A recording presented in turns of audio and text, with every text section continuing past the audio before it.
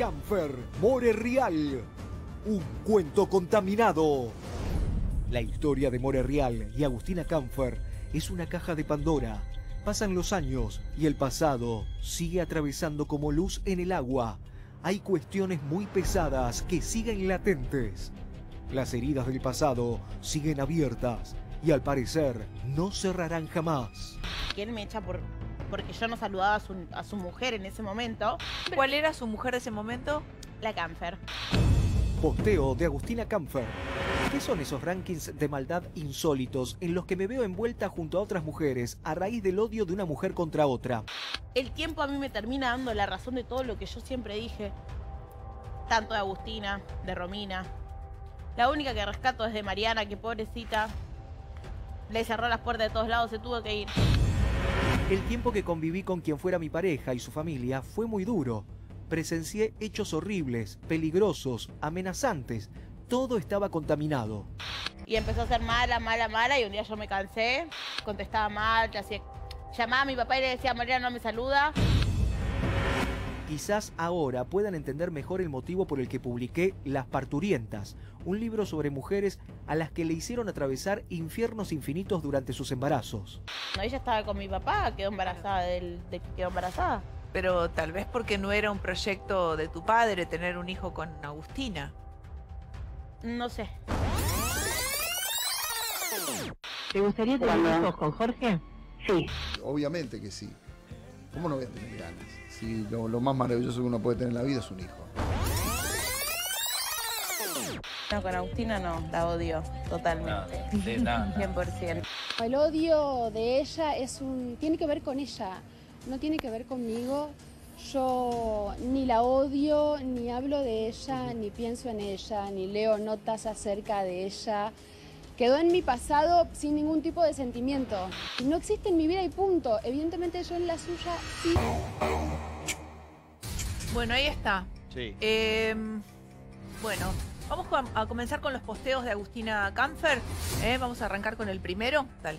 Quisiera tenerlo en pantalla pleno para poder ir leyéndolos. Eh, los están preparando. Fantástico. Cuando los tengan me avisan. Unos Mati. durísimos, ¿no? Camfer se animó a levantar el guante que había generado la declaración de Morena Real, que habló de Camfer como una persona que no quería nombrar más en su vida. Ustedes recuerdan cuando vino acá, cuando hicimos la nota con ella, creo que la puso en el podio de las peores mujeres de su papá. Sí. Sí. Fue muy directa More Real cuando habló de Camfer como una persona no grata en su familia, que arrancó con una relación buena y después se transformó en la peor de las Sí, relaciones. como suele suceder, eh, a ver, en la historia de las relaciones de Jorge con sus parejas, ¿no? Sí. Al principio, entre las hijas, eh, o sea, está todo bien y es armónico, pero después van sucediendo cosas que hacen que cambie esa relación entre las parejas de Jorge y las hijas. Hay una realidad, hay una realidad y es que como que More tiene muchos enemigos, Sí. ¿no? Como muchos frentes. Y hay mucha, muy poca gente a la que ella rescata, abraza, respeta. Eh, bueno, uno es tu padre. Yo eh, creo que, a ver, la, la razón por la que no la quería Canfer era porque ella estaba muy encariñada con la línea Loli. Entonces ese cambio de pareja de- del padre ya hizo que arrancara mal la relación. Sí, Facu, pero vos tu relación con... ¿Vos tenés relación con Morena Real? ¿Te llevas Eh, bien, mal? antes hablábamos seguido, de hecho me invitó a mí, a mi hermano al cumpleaños de 15. Después, bueno, ella se puso en pareja, fue madre, nos distanciamos y, y no hablamos más. Pero vos estarías en su lista blanca, digamos. Quiero, quiero creer que sí. Por favor, ¿no? sí. Sí, ok, Pero ok. Facu, ¿sabes qué? Eh, qué bueno tenerte acá, porque tu papá, ah, en estos días en los que estuvo More también acá, es- ellos hablaban mucho de situaciones en las que vos, por ejemplo, no querías compartir con Jorge, eh, Silvia y las chicas porque veían cosas que no les gustaban de la dinámica familiar. Entonces quizás a veces no lo querían, no lo querían acompañar a Luis a eventos a los que los, a la invitaban porque ustedes no se sentían cómodos. Claro, porque ellos Claro. hacían mesa de grandes y como que a los chicos lo aislaban un poco. Ajá. Eh, recién en el- la última vez que nos juntamos, que creo que fue para un cumpleaños de Jorge, eh, nosotros ya éramos más grandes y formábamos parte de la mesa de, de adultos. Sí. Y es la diferencia que marcó eh, Mariana con respecto a otras parejas que ha tenido. Jorge. Ella estaba muy pegada con Morena, con Rocío, era parte del grupo de amigas. Sí. De hecho, en esa fiesta, estábamos nosotros viendo, justo estaba una pelea de- del chino Maidana, estábamos comiendo, viendo la pelea, y Mariana, en lugar de estar en la mesa con, Con los los grandes. adultos, estaba bailando con la música a todo volumen, con las chicas en el cumpleaños de. La llevó un boliche, Morena. ¿no? Digamos que también la llevó un boliche a Morena Real, que fue un boliche de la discordia porque era menor. Eh, ¿La niña Loli le hizo muy bien a More o le hizo muy mal? Mira, para mí le hizo muy bien a Morena y le hizo muy bien a Jorge. Ajá. De las veces que yo estuve con ellos compartiendo comidas, todo, nunca lo vi, ni a Jorge ni a Morena tan bien como con Mariana. Pero cuando eres chico, eh, porque yo quiero volver a esto porque me- yo recuerdo que More contó cosas muy fuertes de esos, esas reuniones. Digo, eh, vos veías que por ahí no, no estaban cómodas ni Morena ni Rocío con, con su madre principalmente, ¿no? Sí, a ver, eh, Morena el otro día habló de maltrato. Yo, por parte de Jorge, nunca vi que las maltratara. Sí. O sea, por ahí no, no les marcaba cosas que ellas estaban haciendo mal, o sea, no les marcaba un límite, Sí. pero nunca las maltrató, por lo ¿Y su- menos adelante ¿Y mío. su madre adoptiva? Y Silvia era un poco más, más firme, más rigurosa ¿Cómo? a la hora de... No, pero no a, lo- a los gritos Ah. y yo recuerdo haber visto mensajes que le mandaba Morena a Jorge Sí. diciéndole, papá, vení pronto a casa que mamá nos está pegando. Ah, lo visto. Pero vos la, la viste a Silvia Dauro No, golpeando no, no, a- nunca vi golpeando eh, ningún golpe ni No. nada. Pero sí sí, que era, situación tensa sí, entre sí ellas. situaciones tensas. Sí, Ah. bien, bien, bien. Bueno, ahora sí, vamos a pasar a los posteos de Agustina Camfer. El primero dice, confía absolutamente en el poder del silencio y del tiempo que lo acomodan todo en el camino del bien y la verdad. Pero lo que está pasando en estos momentos me toca una fibra muy sensible porque involucra a lo más preciado que tengo, que es mi hijo, al que protejo como una pantera. Y ahí sabrán entender, me cuesta quedarme quieta. Bien, eh, otro posteo que hace Agustina Camfer, pegadito a este, dice, desde hace varios días me contactan de los medios para que responda a acusaciones que no solo son falsas, también son terribles y malintencionadas. Anoche, además, me esperaron a la salida de mi trabajo y cómo decir no quiero hablar. Parece no ser suficiente, voy con estas breves, brevísimas aclaraciones sobre algunas de las mentiras que estuvo repitiendo MR acerca de mí. Vamos con el próximo. Sin dudas, quien debería estar haciendo estas aclaraciones es su propio padre, que sabe tan bien como yo cómo han sido las cosas. Pero ya que él decide no hacerlo, él calla a pesar de saber todo lo que yo callo. No tengo otra opción que tomar esta posta. Y no tengan dudas del malestar que me produce revolver un pasado que no recuerdo con alegría, sino todo lo contrario. Realmente un, un posteo detrás del otro potentes, muy fuertes, que dicen un montón. A pesar de que no hace zoom, eh, ni hace, no dice detalles, eh, revelan un montón, una interna feroz. Es un enojo con Morena y, Y con Jorge. Con Jorge. Porque lo Sí, está haciendo sí. responsable de que de no salir a aclarar la situación que está viendo. Lo que Morena. pasa, hay que ver también, eh, a ver, si Jorge quiere meterse en esto. Sí. Yo entiendo el enojo de que no salga a aclarar Jorge ciertas cosas, pero quizás no quiere hacerse cargo de las palabras de su hija. Eh, No, quizás no quiere ir contra su hija, No, ¿no? por supuesto. Porque me parece que él la- o sea, lo que está haciendo Jorge con este silencio, un- me parece, es la decisión que está tomando es para cuidarla. Claro. Pero para cuidarla, ¿te parece? Cuidarla. Sí, Yo creo- creo que sí. A ver, Facundo. Me da... sí. A, a mí me parece que, a ver, si él no sale a aclarar o a ponerle un stop, eh, Morena está desbordada porque encima es una persona que no sabe manejar los medios. Entonces la agarrás con bronca, Pero- adelante un micrófono eso, y es capaz de decir por- cualquier Facu, ahí lo barbaridad. dijiste, Rial tiene mucho conocimiento de los medios y él me parece que sabe que está como tratando. Si él habla, esto se desborda. Perdón. Entonces él está conteniendo la situación. ¿Será me parece. contención o será temor Pero a acá su tenemos- propia hija? Pero ¿Puede temor ser temor digo, también? Acá tenemos a Facundo. Facu, vos tenías casi la misma edad More. Eran dos chicos, dos niños. ¿Cómo fue ese momento donde vos sentiste a una morena desesperada por esa situación que vivía? Porque me imagino que habían secretos entre vos y Morena y vos le decías, More, calmate, relájate. ¿Vos le dabas contención a ese momento delicado de Morena Real?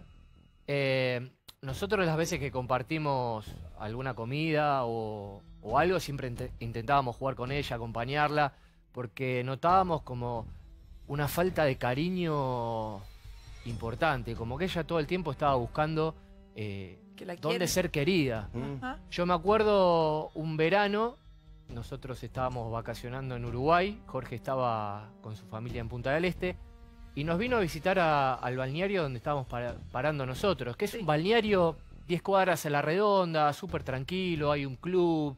Sí. Y cuando llegaron las chicas me acuerdo que, que bueno, que al principio estaban, como te digo, la mesa de los adultos, las chicas por otro lado.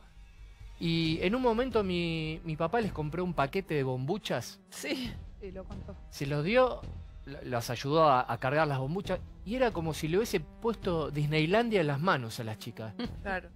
Se volvieron locas, estuvieron todo el día jugando, fueron al club, las acompañamos, estuvieron jugando en los juegos.